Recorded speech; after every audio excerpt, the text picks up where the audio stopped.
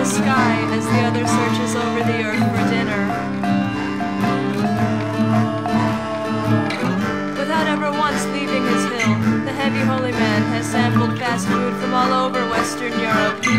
Wimpy burgers from London, Wonder burgers from Dublin, and his favorite hit burgers from Paris,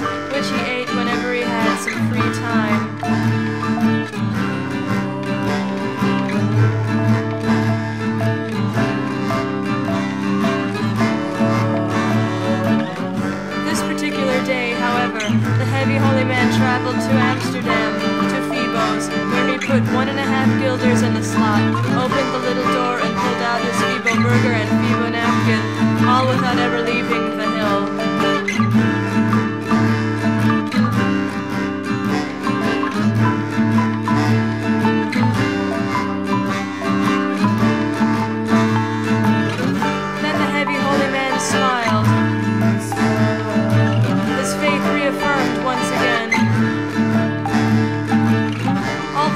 of this or any other world are mine for the asking, he thought to himself.